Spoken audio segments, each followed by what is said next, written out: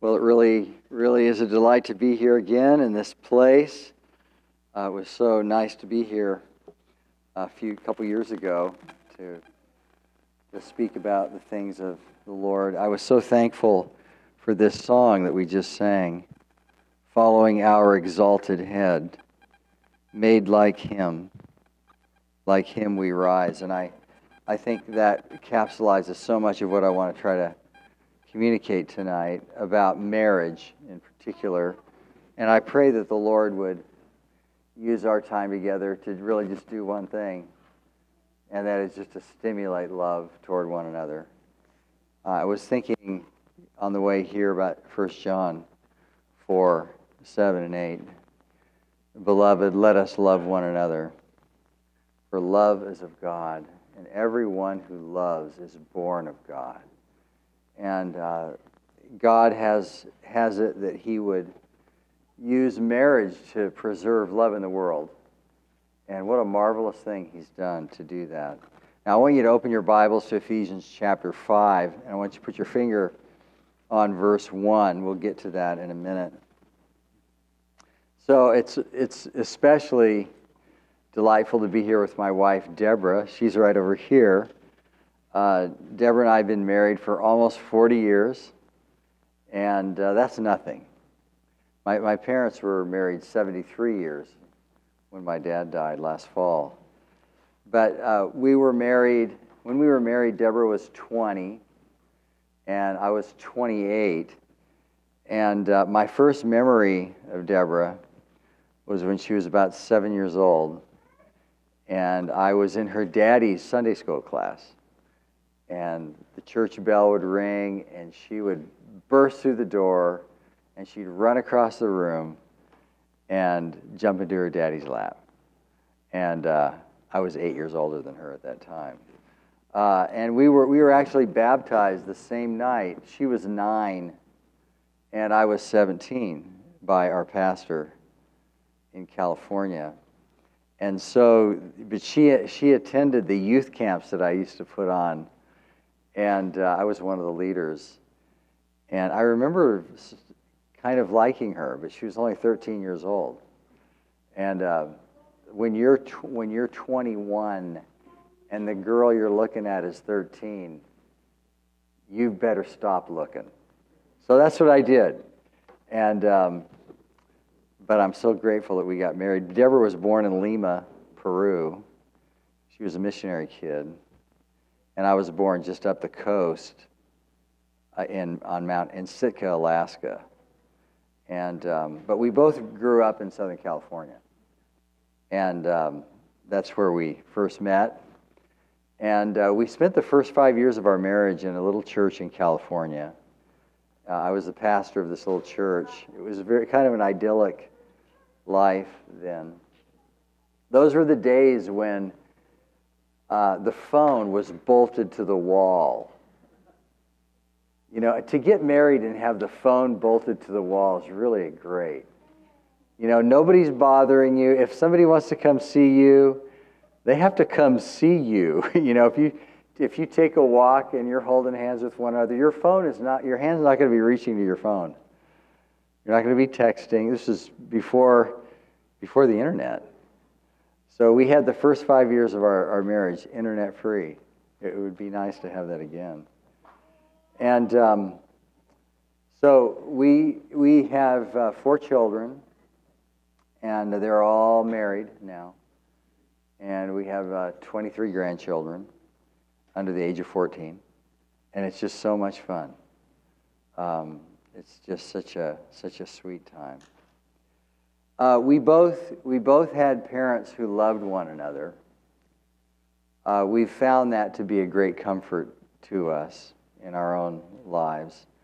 Neither of our parents ever argued.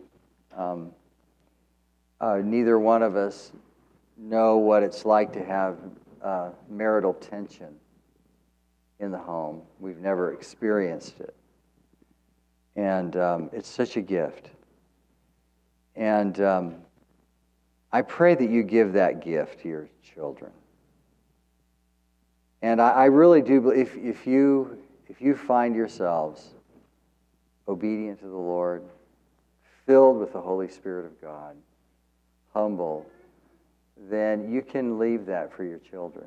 And I, I, just pray that you do everything you can to remove anything that is getting in the way of providing that kind of thing in your home. You can do it. And God gives us the way to do that. You know, when Deb and I got married, our pastor, who's known us for a long time, married us. And in fact, um, he told me that he thought I should marry her.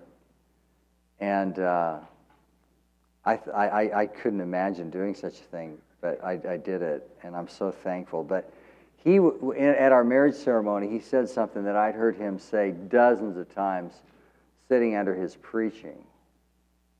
Uh, I, he must have said it a thousand times because I, I keep saying it myself. And he would always say that God created marriage, it belongs to Him. He designed it. He would say that all the time. And, uh, and it, it, is, it is true. And, um, and the, the truth is, is that uh, ministers don't put people together. God does. And God, if you're married here, God put you together. It was God who did it. It was a divine order that allowed all the factors that worked in to your getting married. And, and the truth is that, you know, in our sinful nature, we often think things and do things that lead to us getting married, and somehow we might think, well, it wasn't God that got us married. That's just not true. God arranged all those things. He arranged even the sinful, stupid ideas that you had that got you married, that tricked you into getting married. It was God that did that. So, uh, my assumption tonight is that Almighty God moved. He moved mountains. He did things that no man could do, and He got you married. And He did it really to keep love alive in the world through you and through your family. Now, now I don't I don't know where where you're at today. Um, I don't know if your marriage is crumbling. You know, Deborah and I do lots of marriage conferences, and every time there's somebody who's on their last hope, and they're sort of doing a last ditch effort to save their marriage. I don't know if that's true here. But maybe, maybe you just came here because you just want to keep sweetening your marriage, you want to keep learning. But do, do you enjoy one another? Um, do are you friends? One another? Uh, do, do you like to be with one another? So I, I don't know if, if you do like each other. I found that couples fall out of like with each other over time. And I don't know if you've given up. I don't know if you've slipped into a hole. There are lots of holes that you can slip into in a marriage. You can slip into that old hole of pointing fingers. You can slip into that hole of bitterness. You can slip into that hole of silent anger, just brewing, the hole of, of verbal assault, speaking evil to one another, uh, the hole of resignation, the hole of withdrawal, the hole of withholding kindness, the hole of withholding sexual intimacy, arguing pride. Well, those are the holes, those are the potholes that are out there for everybody to fall into. And, um, and I, I'm really here to encourage you to love one another and to ask you do, you do you love one another with the love of God? People today don't really understand what love is. They think love is a feeling.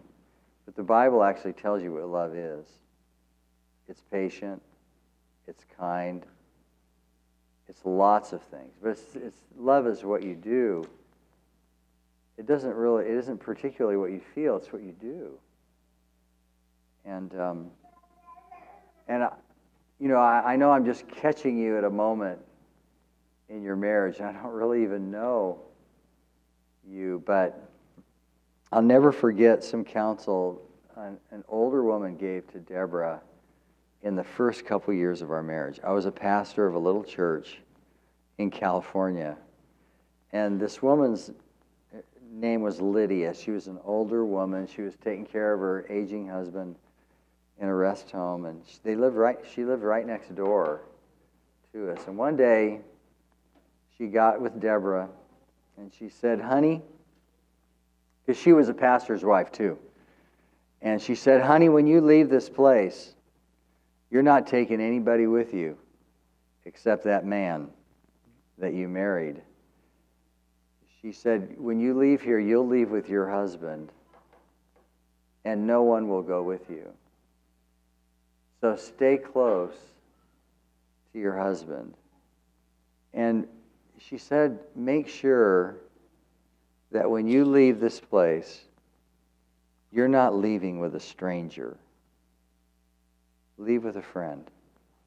And um, I thought that was such a wonderful advice. And all, all of us are in that same place, too, that we have one another. And uh, often, you know, the things in this world encroach upon the friendship and the sweetness that God really ordained. And these things really, really can can, can be overcome. Okay, so um, I, I, I want to talk about the purpose of marriage. I think that can steady us to understand how we ought to go about marriage. If you, if you know the purpose of something, then you can know how to go forward with that thing. And marriage is like that. You need to know the purpose of it. And I, I want to read some scripture to you that helps helps us understand the purpose of it and, and the duties of it. And, um, and it's so important that you understand this because marriage, marriage is dangerous. Getting married is one of the most dangerous things anybody ever does. And um, there are lots of reasons it's dangerous. Uh, because uh, if you get married just for your own pleasure, for your own glory, then you'll find a lot of danger in your marriage. If you have expectations, everybody gets married with expectations. Everybody wanted something when they got married. Uh, and you know, people often find themselves let down by their marriage. Maybe you're one of those people. Maybe you feel let down.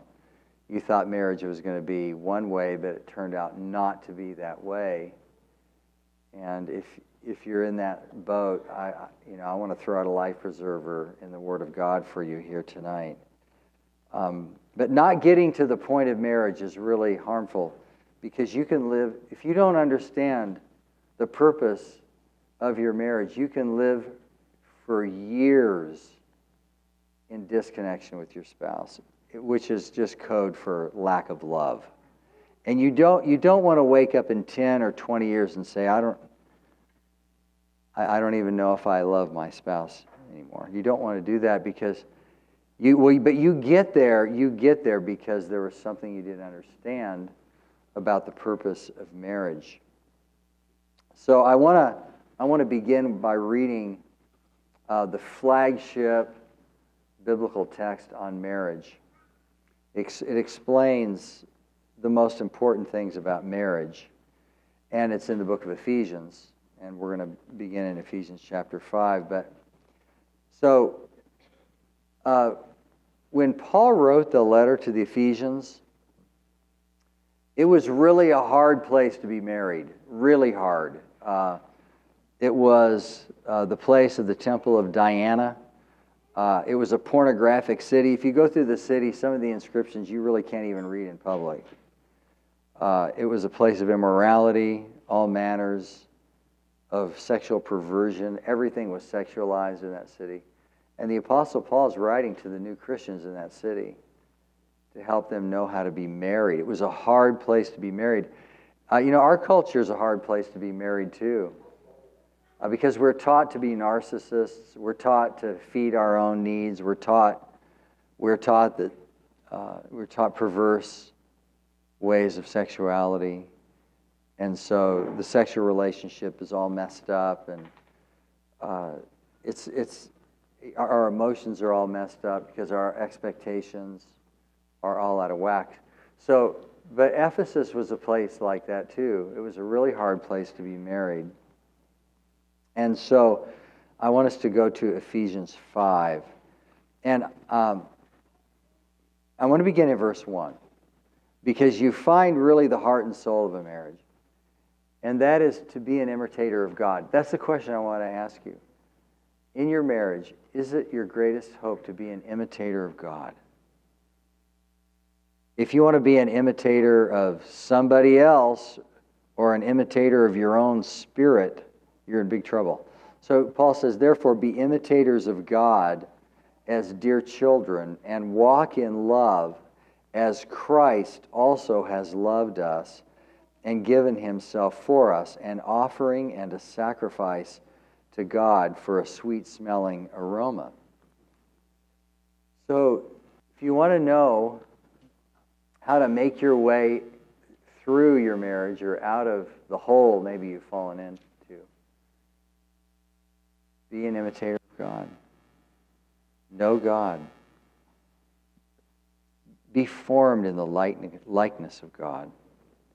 And then in, in verse 17, you see what really is the power of a marriage. It's the thing that really makes a marriage.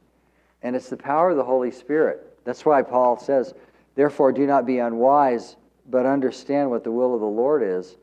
And do not be drunk with wine, in which is dissipation, but be filled with the Spirit speaking with one another in psalms and hymns and spiritual songs. Now, what the apostle is saying is that the, the key to a marriage is the filling of the Holy Spirit. Now, the apostle Paul, with this phrase, be filled with the Holy Spirit, he's really beginning what theologians call the family life codes in Ephesians. And it begins with the filling of the Holy Spirit. The whole secret to your marriage, the whole secret to the raising of your children is the filling of the Holy Spirit. That's what the Apostle Paul is saying. So he's launching this discussion of, of how you go, make your way in your family. These are the family life codes. So he's going to speak about, he's going to speak to the wives, and then he's going to speak to the husbands, and then he's going to speak to the children, and then he's going to speak to the fathers, and he's going to end up saying, don't exasperate your children. So are, these are the family life codes. And, um, you know, the Bible doesn't just tell us what to do, it does. And later on, the apostle tells us what to do in a marriage.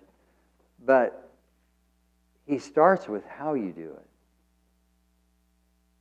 And it's by the power of the Holy Spirit. The only hope for your marriage is really the, the power of the Holy Spirit out of the transformation that's come in your heart. If you're not converted, you're, you're not going to have this. Um, and the, the fruit of the Spirit is love, joy, peace, patience, kindness, goodness, faithfulness, gentleness, and self control. So, the whole, the whole way of going about a marriage is resting upon whether you're filled with the Holy Spirit. If you're filled with the Spirit, you'll, all, you'll always know what to do. If you're filled with yourself, you'll always know what wrong thing to do. And so the apostle begins these family life codes with that. But then he jumps into the specifics of what wives do and then what husbands do. And that we'll spend our time there. Verse 22 Wives, submit to your own husbands as to the Lord.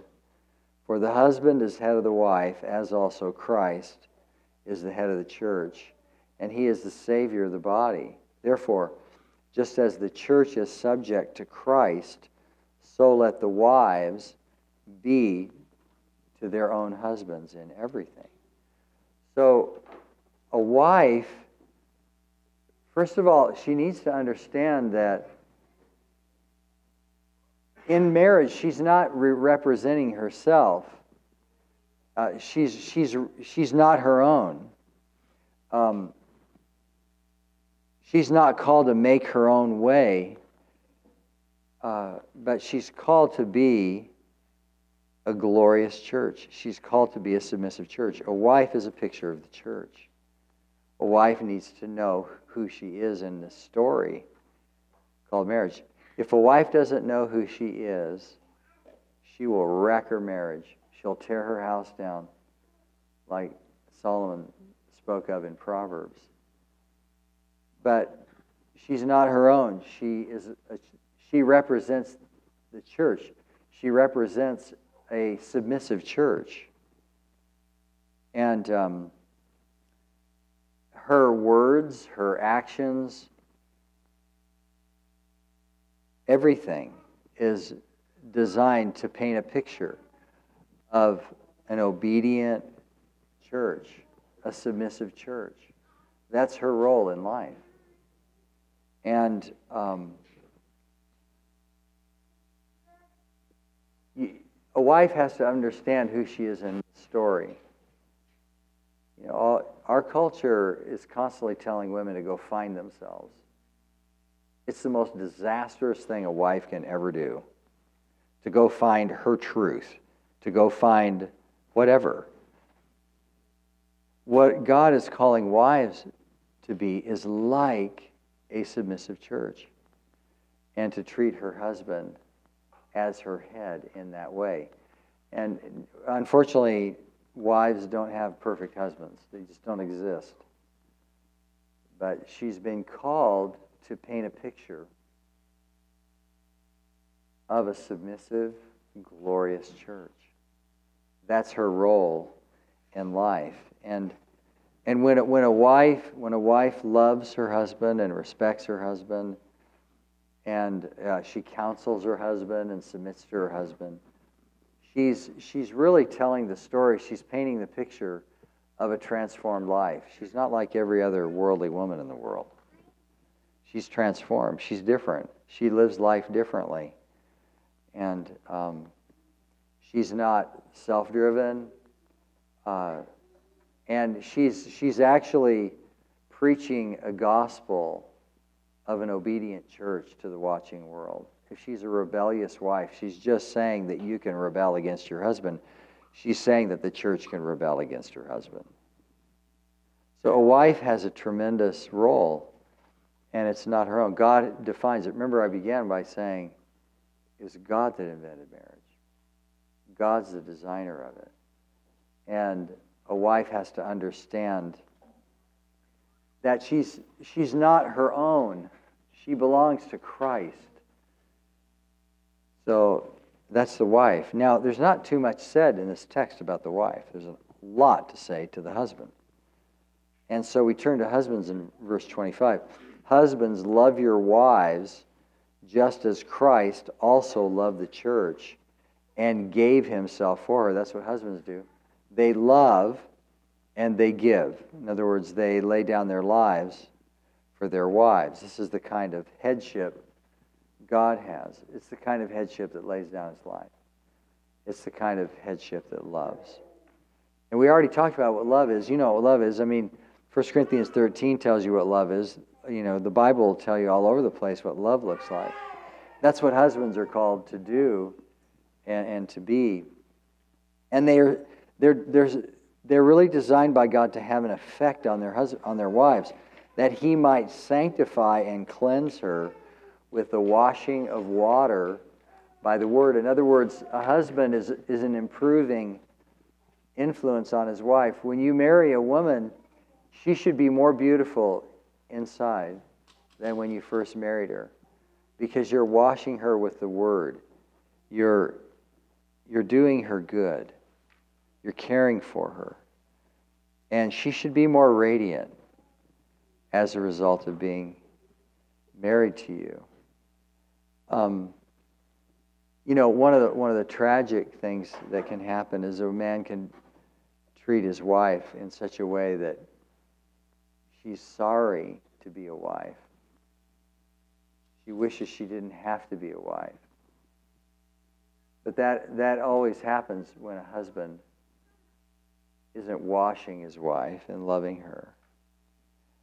And and then the, but this is something that a man a husband is doing before the Lord. Verse 27 that he Christ might present her to himself a glorious church. In other words, a husband kind of stands as a middleman to beautify his wife so that Christ would present that wife to, the, to, to his father a glorious church, a glorious wife, not having spot or wrinkle or any such thing, but that she should be holy and without blemish. You know, it's real, this whole thing about spots and wrinkles has, has always struck me because here, after a long life of sanctifying the church, after a long life of a husband sanctifying his wife, after all that, after all those years, after 40 years, you know, then she doesn't have spots or wrinkles. But it's, it's, it's completely different in nature, right? Like you start out a marriage and you don't have spots and wrinkles.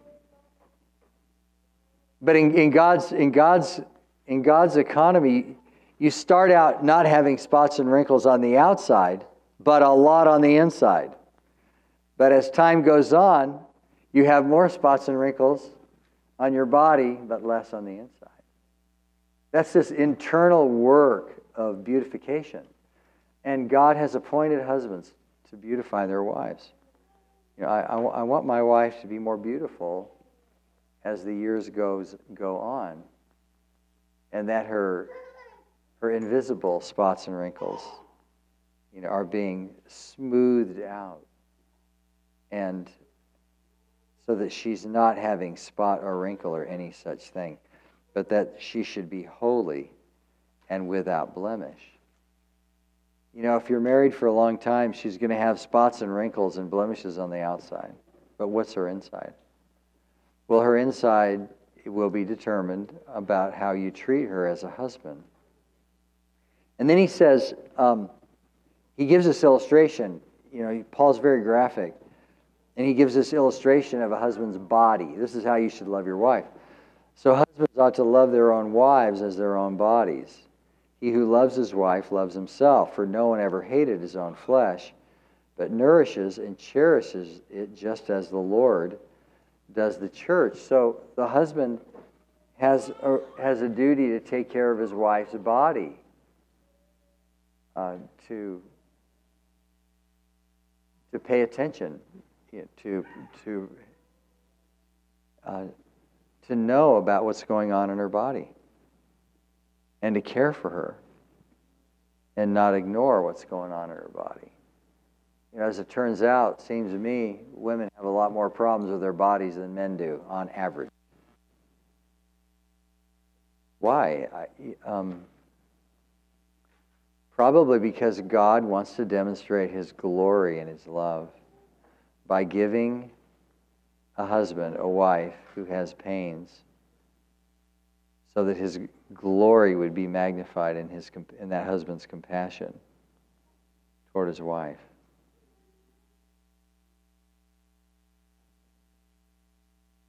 And then he says, For we are members of his body, of his flesh, and of his bones. For this reason, a man shall leave his father and mother and be joined to his wife and the two shall become one flesh. This is a great mystery, but I speak concerning Christ and the church. Now, this is very striking because what the Apostle Paul is saying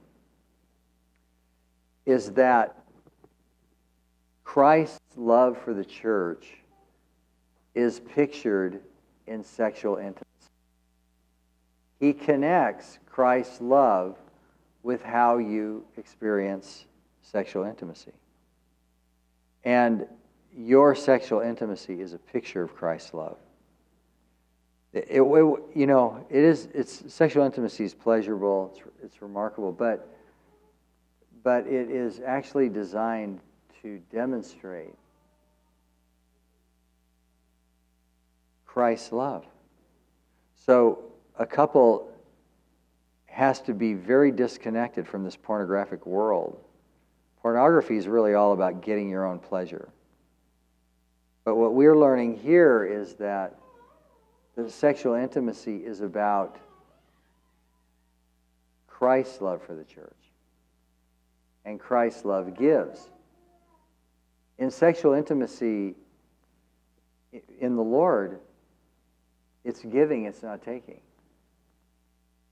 But everything around us teaches us to take. Pornography teaches you to take. Pornography teaches you to do something for yourself. But Christ teaches you to serve your, your wife or serve your husband in sexual intimacy. And of course, the Apostle Paul explains this in detail in 1 Corinthians 7. We won't go into that. Okay, so we talked about the wife. She's not her own. The husband is not his own either. Um, the husband loves his wife like Christ. In other words, the husband can't do whatever he wants in a marriage. He can only do what pleases Jesus Christ in his marriage. Uh, and he's, he's full of grace and truth. He's like Christ.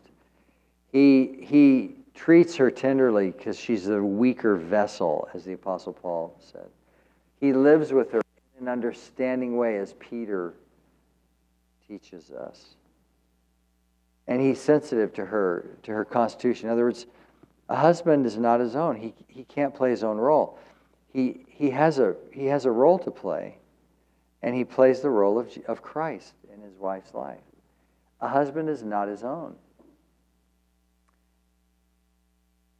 And he cares for her. So, a husband can't do whatever he wants to do. He can't say whatever he wants to say. A wife can't do whatever she wants to do. A wife can't say whatever she wants to say. In a Christian marriage, you have two who are under submission to God. And they when they speak to one another, they speak the words of Christ.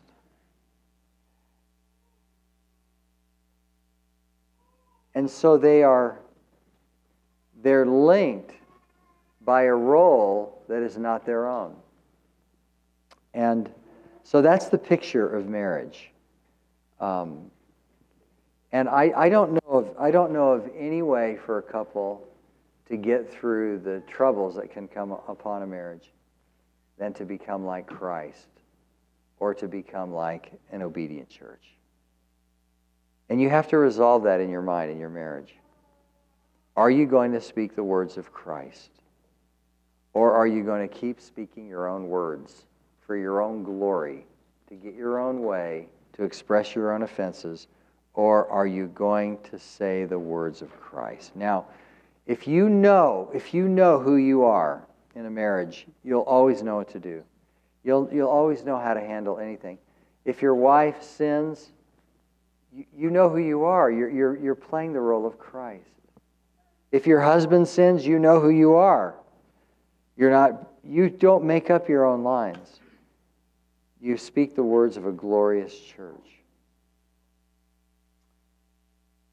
So, all this to say, I think the most important thing to understand about a marriage is that you are not your own. And the sweetest things happen when you know that. And when you understand that you play the roles of God's design. And that actually makes you secondary and Christ primary in everything.